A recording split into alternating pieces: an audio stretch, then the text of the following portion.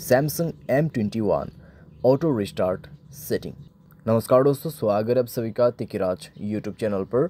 तो दोस्तों, आज के इस वीडियो पर मैं आपको बताऊँगा कि कैसे आप जो है सैमसंग के डिवाइस में, ठीक है ऑटो रिस्टार्ट सेटिंग आप कैसे सेट कर सकते हैं।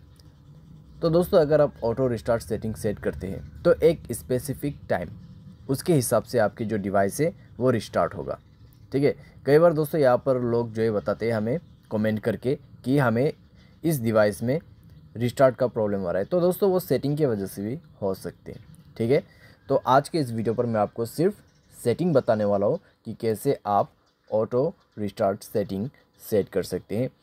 वीडियो शुरू करने से पहले दोस्तों अगर आपने चैनल को सब्सक्राइब नहीं किया है तो सब्सक्राइब करते हुए बेल आइकन को क्लिक करें। अगर आप ऑनलाइन पैसा कमाना चाहते हैं तो वीडियो डिस्क्रिप्शन पर आपको लिंक मिल जाएगा, किसी भी प्रॉब्लम के रिगार्डिंग पर। आप हमें ट्विटर पर फॉलो करके मैसेज कर सकते हैं। चलिए दोस्तों वीडियो शुरू करते हैं। सबसे पहले हमें जाना है दोस्तों अपने मोबाइल के सेटिंग पर। सेटिंग पर कुछ इस तरीके का इंटरफेस होगा। आपको स्क्रॉलिंग डाउन करना करके नीचे की तरफ़ आना है। ठीक है? नीचे में दोस्तों आपको मिलेगा यहाँ पे बैटरी एंड डिवाइस केयर का ऑप्शन तो आपको वहीं पर क्लिक करना है।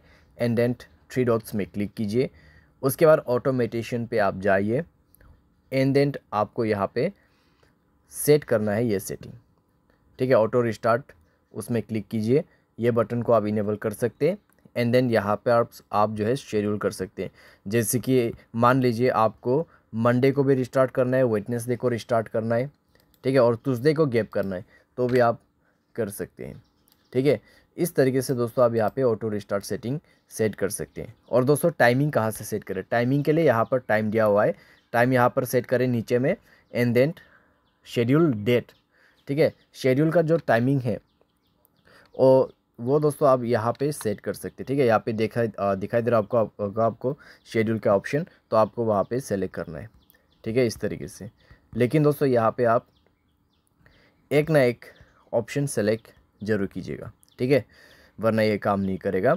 मंडे को सेलेक्ट कर लीजिए एम लिखा हुआ है, उसके बाद थ्री ए एम को ये अपने आप रिस्टार्ट होगा। इस तरीके से दोस्तों आप जो है सेटिंग सेट कर सकते हैं। और दोस्तों इसी तरीके से आपके ऑटो रिस्टार्ट सेटिंग सेट होगा। उम्मीद करते हैं वीडियो आपको पसंद आया होगा। Thanks for watching